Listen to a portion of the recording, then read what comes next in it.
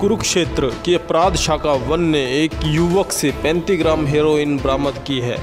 युवक ने पूछताछ में बताया कि मैं हीरोइन दिल्ली से लेकर आता हूँ। फिर मामले की छानबीन के लिए पुलिस युवक को साथ लेकर दिल्ली पहुँचती है, जहाँ युवक ने एक नाइजीरियाई व्यक्ति के बारे में पुलिस को बताया और पुलिस ने सेंध लगाकर उस नाइजीरियाई व्यक्ति को हिरासत में ले लिया और पूछताछ के लिए कुरुक्षेत्र लेकर पहुँची। उसके बाद वापस उसे दिल्ली पुलिस के हवाले कर दिया गया। कहीं ना कहीं इस इसे माना जा सकता है कि कुरुक्षेत्र पुलिस इस मामले की तह तक पहुँच चुकी है।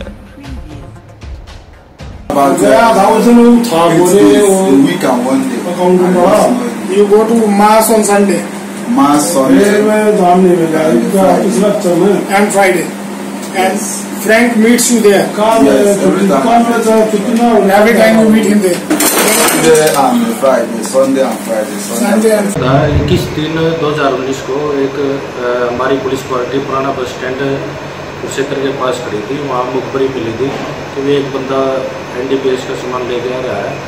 तो वहाँ पे नाकाबंदी की गई थी और वहाँ इस हिमांशु पुत्र जोगिंदर को पकड़ा था और इसके कब्जा से स्मैक बरामद हुई थी। तो रिमांड के दौरान इसने बताया था कि भी मैं दिल्ली से ले के आया हूँ तो वहाँ दिल्ली हमारी पुलिस पार्टी गई थी, दिल्ली रेड मारी थी, और रेड के दौरान वो बंदा जिसे लेके आया था, उसको वहाँ काबू कर लिया था। इनका ये एक नाइजीरियन है, वहाँ दिल्ली में द्वारका के पास रहता था ये, और इजी जोनाथन ओडी को इसका नाम है।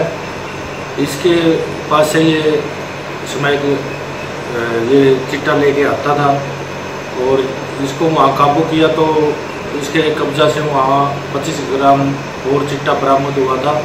तो वहाँ दिल्ली पुलिस को हम, हमने मौके पे बुलाया था और वहाँ पे इसके खिलाफ पर्चा दर्ज करवाया था डीपीएस के तहत। फिर ये वहाँ जुडिशल कस्टडी में भेज दिया था, हमने यहाँ से अपने मुकदमे में प्रोडक्शन वार्ड पे प्रोडक्शन वार्ड लगवाया था इसका। और आज ये प्रोडक्शन वार्ड पे यहाँ पे आया हुआ था इसको हमने यहाँ कोर्ट की परमिशन से शामिल तफ्तीश किया, गिरफ़्तार तस्वर करके शामिल तफ्तीश किया, और इसके अब जुडिशल के रिमांड के जुडिशल के ऑर्डर हुए हैं और तिहाड़ जेल वापस भेजा ये मजिस्ट्रेशन में कहीं ना कहीं एक बड़ी कामयाबी है भी जो विदेशी है ऐसे काम करता था। जी ये मतलब फ़ौरन का बंदा है तो वहाँ मतलब दिल्ली में रह के ये काम करता था और इसको हम हमारी सही टीम ने बहुत मेहनत से पकड़ा था बहुत सराहनीय कार्य किया था हमारी टीम ने। अर्थ प्रकाश के लिए कुरुक्षेत्र से कलतार सिंह की रिपोर्ट। ताज़ा अपडेट्स के लिए अर्थ प्रकाश टीवी को सब्सक्राइब करें और बेल आइकन को प्रेस करें।